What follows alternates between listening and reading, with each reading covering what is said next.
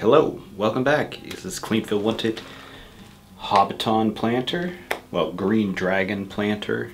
I'll show you a picture of what it's supposed to look like or what I'm basing it off of here. Today is painting. And the very first thing I'm going to do is I'm going to use a, a steel wool and vinegar mixture, which is just vinegar with steel wool in it. Let it sit for a few days.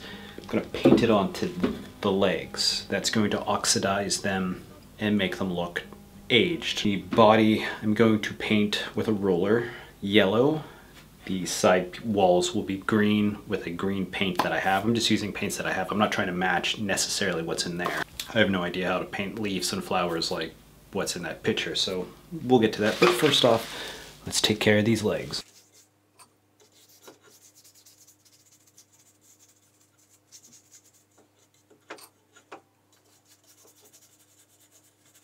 If you watch The Hobbit or The Lord of the Rings, you see the fence, fence posts, they're aged, they're worn out. This is one of the methods that they used to actually age that wood. If you have the right tour guide, they'll tell you that. They also flung yogurt on them to make mold naturally grow, uh, not mold, moss naturally grow. So uh, I'm not doing that part though. But this I am doing. I do this a lot anyways. Faces get painted yellow. These will be painted green. I'm going to hit as much as I can with just this roller and the yellow paint.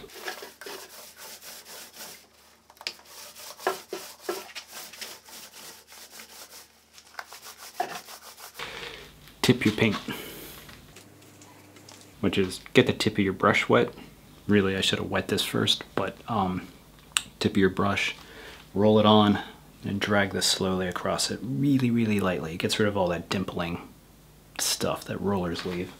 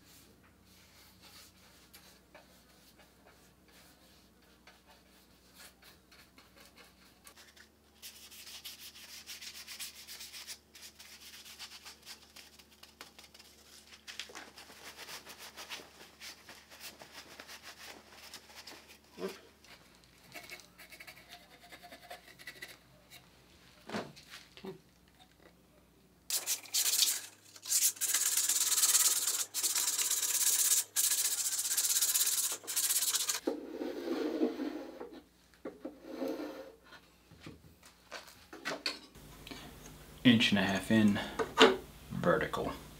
Marked out a square. One on the other side as well.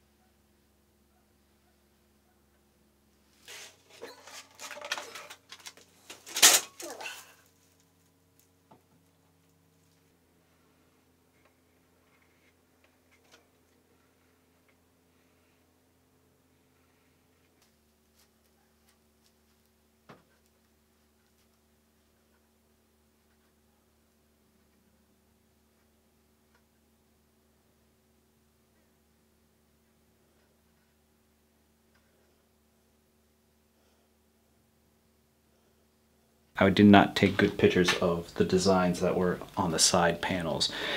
I'm going to base it on what I think it looks like, which is like a large leaf with three leaves, tiny leaves around it. So to make sure all my circles were in decent spots, I used a little roll of electrical tape that I had. The sides are all evenly spaced basically, so line it up right there and drew along the inside.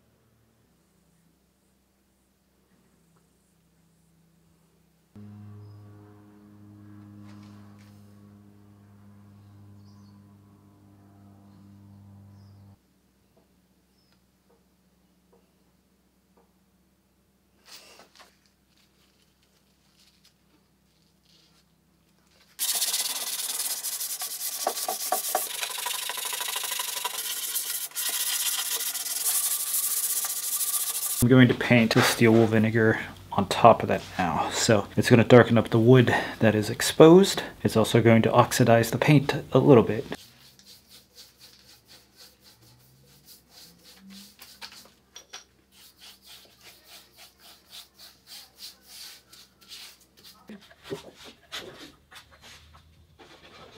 Sparkly pencil.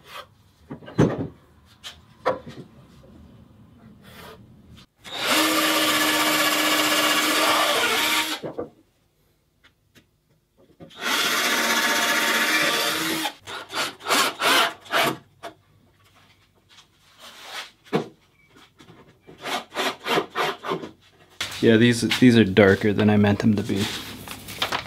I should have just left them alone. But yeah, I mean, I even got that there. Oh, I gotta get these in there. I didn't I didn't do those parts. I gotta do that.